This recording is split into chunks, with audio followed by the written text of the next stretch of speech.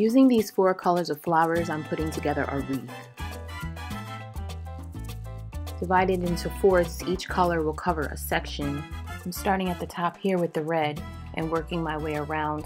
I'm adding four of each color to the top part and 10 flowers total will be used for each section.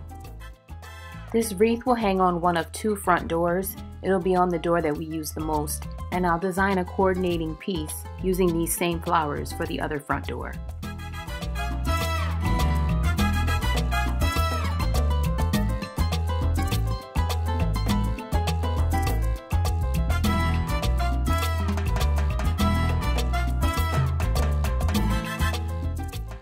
This wreath will hang from the door by the ribbon that's already attached. I'll be gluing this bow to that ribbon as well.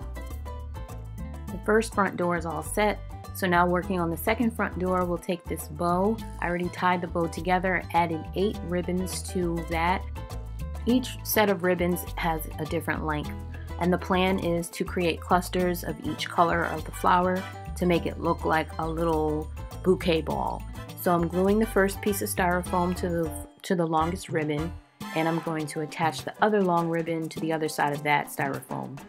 And then I'll be attaching five flowers of each color to each styrofoam.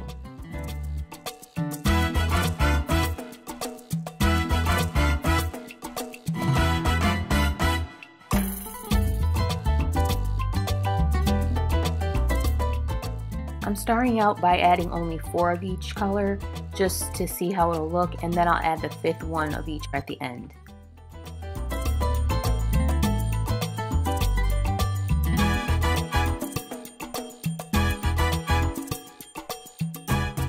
So here I'm adding the fifth flower to each cluster to cover where the ribbon was attached.